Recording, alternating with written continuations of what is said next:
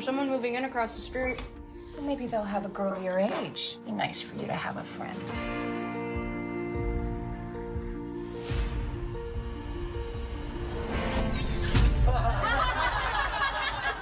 Boys are idiots. They became to everyone who knew them simply Tully and Kate. And for more than 30 years, that friendship was the bulkhead of their lives. Things are hard over at her house in ways that, well, you might not understand. I'm gonna be there for you, no matter what. When we grow up, we're gonna live together, and we're gonna be famous journalists. I'm a goddamn legend in the making. That's right, you are. You don't get it. You, you don't know what it's like to fail. I mean, you succeed at everything you try. It's like this is your life, and I'm just along for the ride. You are so much braver than me. Your family, that is the real accomplishment. I will never have that. I was too scared to even try.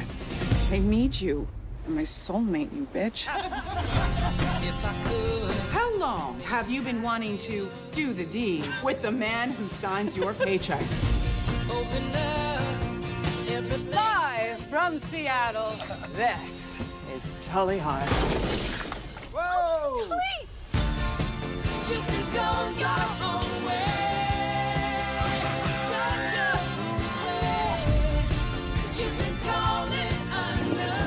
line, Tully. You don't even know there is a line.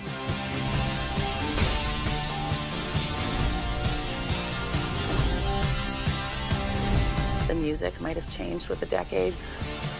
But the promises made on Firefly Lane remained. Best friends forever.